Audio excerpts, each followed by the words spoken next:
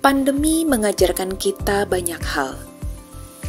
Sebagai guru, kita dituntut untuk selalu berinovasi agar bisa menciptakan pembelajaran yang kreatif dan menyenangkan. Selain itu, pembelajaran yang berpihak kepada murid dengan memperhatikan keberagaman yang ada pada murid menjadi kunci agar pembelajaran bisa berjalan dengan optimal.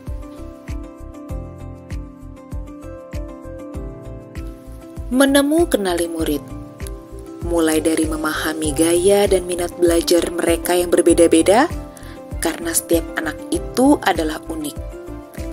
Ini adalah ciri pembelajaran berdiferensiasi.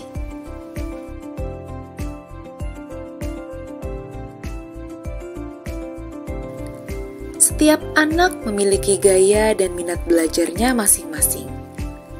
Sebagai guru, kita harus bisa memfasilitasi keberagaman itu agar anak bisa mencapai tujuannya.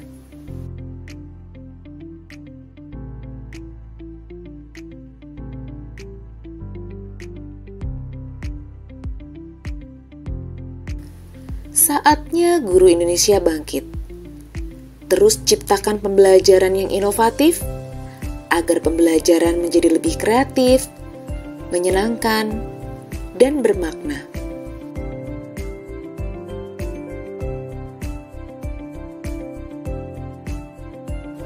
Bergerak dengan hati, pulihkan pendidikan.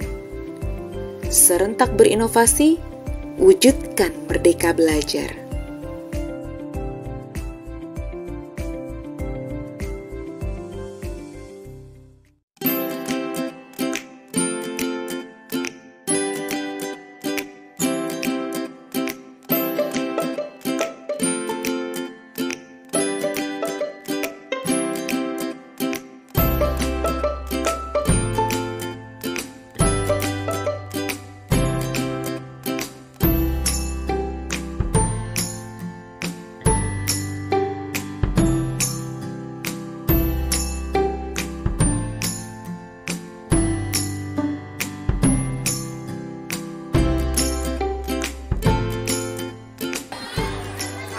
Berdua senang memakai microblox karena kami berdua senang membaca dan materinya mudah dipahami.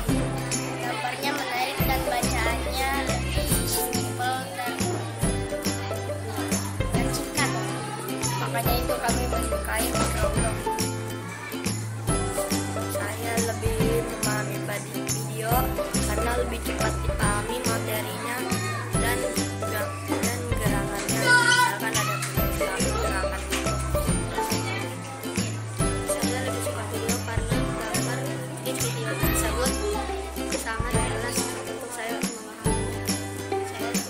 video karena gampang memahami memahami video itu Saya menyukai alat peraga karena alat peraga lebih menarik daripada video atau microblox.